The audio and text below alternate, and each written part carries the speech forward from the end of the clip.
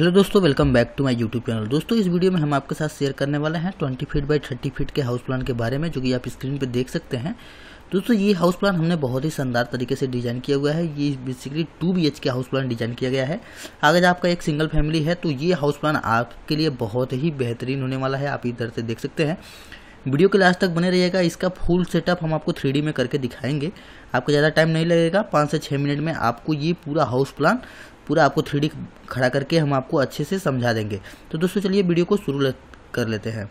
और दोस्तों, अगर आप हमारे चैनल पर नए हैं तो चैनल को सब्सक्राइब करें बेल आइकन प्रेस करें, जिससे क्या होगा, जब भी हम कोई न्यू वीडियो आपके लिए अपलोड करेंगे तो सबसे पहले नोटिफिकेशन बिल में चला जाएगा।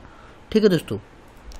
तो दोस्तों, यहाँ पे देख सकते हैं जो अपना कॉलम है, सबसे पहले हम कॉलम को पहले सारे कॉलम को पहले हम बना लेते हैं। तो कॉलम दोस्तों 10 फीट की हाइट पे ही हमको कॉलम बनाना है। देख सकते हैं कुछ इस तरीके से आपको 10 फीट का हाइट का आपको कॉलम बना देना है। दोस्तों आपका जो कॉलम का आ, मोटाई है वो 9 इंच बाई 9 इंच का ही रखना है। ठीक है?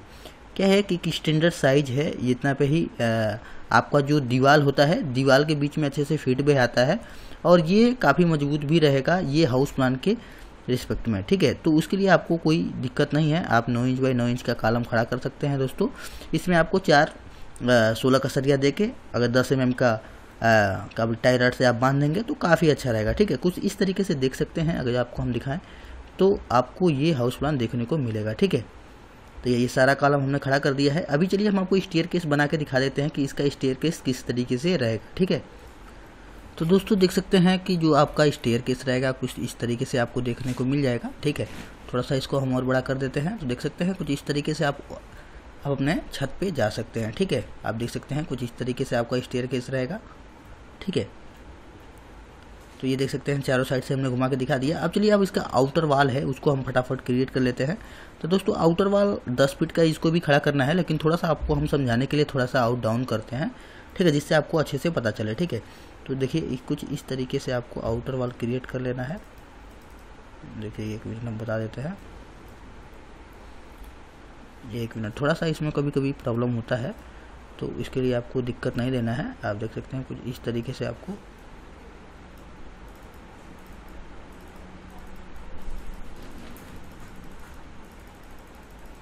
थोड़ा सा ये वाला जो अपना पोर्शन है, इसमें आपको इसलिए दिक्कत हो रहा है क्योंकि इधर में स्टेयर केस है तो इसकी वजह से थोड़ा सा प्रॉब्लम है तो अब इसको भी फटाफट हम बना देंगे। तो उसके बाद से सारा जो प्रॉब्लम है वो ख़त्म हो जाएगा, ठीक है?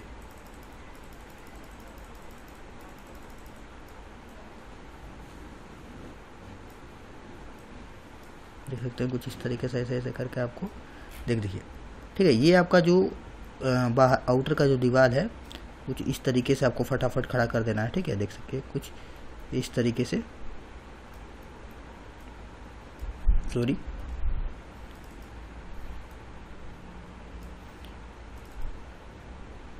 ये देखिए, ये आउटर का वाल सारा आपको खड़ा हो गया।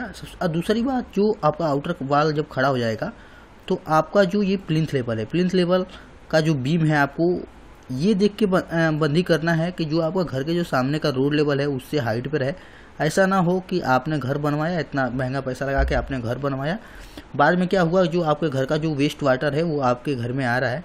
तो इसके ये सब सारी चीज़ें देख के आपको आपका जो घर का जो आपके घर का जो प्लिंथ की हाइट है, उसको आपको अच्छे से देख लेना है, अच्छे से कर देना है, जिससे आपको फ्यूचर में किसी भी प्रकार की समस्या देखने को ना मिले, ठीक है?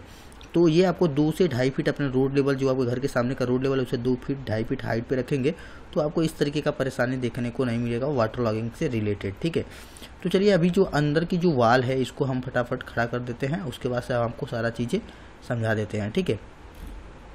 तो देख सकते हैं कुछ इस तरीके से जो आपका ये हाँ देख सकते हैं, ये जो आपको जो वाल है, इसको हम फटाफट फटाफट से करके खड़ा कर देते हैं। इसमें भी दोस्तों किसी भी प्रकार की समस्या नहीं आएगी देख सकते हैं। कुछ इस तरीके से वॉल को क्रिएट कर लेना है जो अंदर की जो दीवार है। ठीक है आप देख सकते हैं। सॉरी ये कुछ तो हाँ ठीक है। आ, आपको देखिए।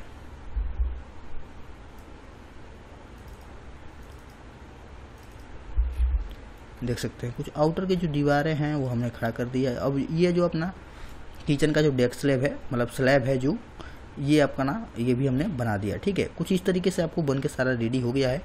अभी जो ये आउटर का, जो सबके, जो सबसे घर का जो फ्रंट एरिया है, यानी ये वाला जो एरिया है, यहाँ पे आपको जो चैनल लगाना है। चैनल लगाने के लिए दोस्तों, यानी चैनल मतलब ये आपका जो मेन गेट रहेगा, कुछ इस तरीके से रहेगा जो इसमें हम एंट्री करेंगे, ये आपका ड्राइंग रूम रहेगा। आप चाहें तो यहाँ पर भी एक अपना घर का जो दरवाज़ा है, वो दे सकते हैं। कुछ इस तरीके से हम आपको बता देते हैं। इसको आप चाहें तो ये पूरा आप यहाँ पे बंद कर सकते हैं। तो आपको यहाँ पे डोर मिल जाएगा, ठीक है? डोर आप यहाँ पे खोल सकते हैं, जिससे आप अपने घर में एंट्री कर लेंगे, ठीक है? जैसे ही आप एंट्री करेंगे, यहाँ पे देख सकते हैं पूरा ओपन एरिया रहेगा। और ये आपको मिलता है टॉयलेट का एरिया। तो टॉयलेट के एरिया के लिए दोस्तों, जो टॉयलेट का डोर होता है, वो दो फीट छः इंच बाई सात फीट का होता है। तो आप देख सकते हैं कुछ इस तरीके का दो फीट छः इंच बाई सात फीट का आपको यहाँ पर डोर देखने को मिल जाता है, ठीक है? और इस साइड में आपको एक बेडरूम है, जो कि बेडरूम का जो साइज़ है जो डोर का, वो आपको तीन फीट तीन इंच बाई, आपको सात फीट को देखने को मिलेगा तो इसका भी हमने क्रिएट कर दिया। और इधर भी आपको जो बेडरूम का साइज़ है, वो सेम है तो इसको भी हम फटाक से इधर में आपको बना के दिखा देते हैं। कुछ इस तरीके से आपको इधर, इसका भी कर देना है, ठीक है? तो अब बनाने के बाद आप देख सकते हैं, कुछ इस तरीके से आपको घर का पूरा सेटअप देखने को मिलता है, और कुछ कुछ जगह पे आपको इस तरीके का लाइनिंग मिलेगा तो इसको हम फटाक से डिलीट कर देंगे। जिससे क्या है कि थोड़ा सा बद्दा दिख रहा है तो इस तरीके से आपको डिलीट कर देना है। ठीक है तो ये देखिए पूरा बन के रेडी हो चुका है आपका जो छोटा मोटा प्रॉब्लम है, उसको हमने सॉल्व कर दिया है, ठीक है? आप देख सकते हैं, कुछ इस तरीके से आपको देखने को मिलेगा। ठीक है, चलिए इसमें डोर विंडो का भी कटिंग हम करके आपको दिखा देते हैं, किस तरीके से इसमें डोर विंडो देना है। देखिए, मान लीजिए कि जो यहाँ पे आपको विंडोज़ देना है, ठीक है? तो अगर जो आपको यहाँ पे विंडो दे दिया, अगर पीछे में आपको एक विंडो देना है यहाँ पे तो कुछ इस तरीके से आपको करना है, ठीक है? इस साइड में विंडो देना है अगर, यहाँ पर भी आपको जो विंडो देना है यहाँ विंडो देना है ठीक है? तो उसका अब यहाँ पे देखिए वेंटिलेशन के लिए देना है ठीक है? अगर आपको यहाँ पर विंडो देना है तो इसको कटिंग करने के लिए दोस्तों आपको सिंपली कुछ नहीं करना है। आपको देखिए किस तरीके से आपको पूरा आपको डोर विंडोज़ का जो आ, मार्किंग है उसको हम आप आ, कटिंग करके आपको दिखा देते हैं कुछ इस तरीके से ठीक है? आप यहाँ पे देख सकते हैं। ठीक है तो ये बन के रेडी हो गया। अगर जो आपको सामने में भी देना है, यहाँ पर भी अगर आप चाहते हैं कि छोटा सा दे देते हैं तो इसके लिए भी आपको फ़र्स्ट सिंपली ये ये देखिए, ये कट के आपको रेडी हो गया।